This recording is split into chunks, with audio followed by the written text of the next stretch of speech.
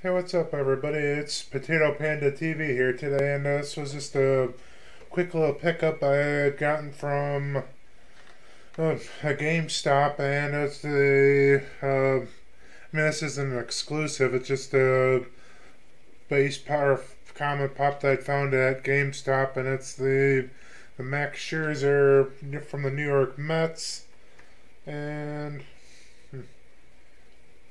I mean, I guess I got, uh, I guess I was just kind of thinking there. He, he played for the Dodgers there for a little bit, and I, I guess I haven't really been keeping up with baseball too much lately. So I, I think he started off the year. He played last year for the Mets, and or part of the year, or not the Mets. He played part for the Dodgers part of last year, and I think he just started with the Mets this year. So um, I think I'm. I mean, I'm not the biggest Max Scherzer fan in the world. I, that's kind of like him because he used to play for the the Tigers there for a few years and um, ended up picking up a fun, one of the Funko Pops from when he played for the the Nationals. I don't know if they ever made any of them for when he played for the Dodgers because I so I don't know. I could look that up, but um, it's kind of cool that they got like a little pitching mound there and um, he's got his little jersey on the back of the jersey, number 21. And the Mets on the front. And the Mets kind of got a cool jersey. I mean, I, I don't really, I'm not sure when the Mets started bring, or I guess that's kind of one of their alternate alternate uniforms. I don't know. I don't think they for like their home uniforms. I don't think they do the those pinstripes for all their home home games. Like I said, I think that's just like an alternate jer- alternate home jersey. And let's see.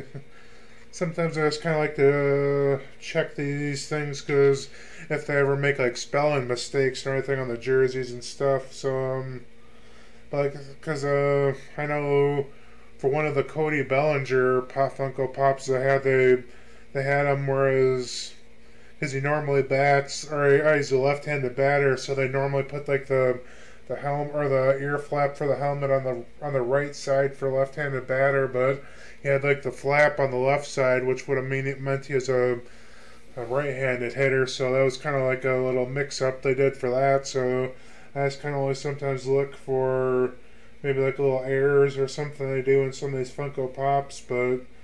Um, I don't think that was a big enough error where it's like made it like super valuable or anything, but I got it just kind of specifically because it was a kind of an error there. And for this one, I also get it because he's uh, Max Scherzer. I forget what the and or what the conditions called or whatever. It's where he's got the two eye colors, but um, that's also kind of why I got this because he's got the the two eye colors. So, um, and then there's kind of like the top of the pitching mound with like the pitching rubber and all that stuff. So I mean, it's kind of basic pop, but still kind of cool, especially with like the little mound and the pitching rubber and all that stuff.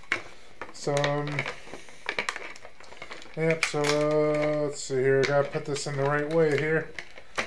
So, um, that's probably gonna be about it for this video, since this is only pop I got here for this video. So, um, the other ones that they had in at least this this little wave here, they have uh, there's Jose Altuve, Mookie Betts, Francisco Lindor, Max Scherzer, Manny Machado, and Shohei Ohtani.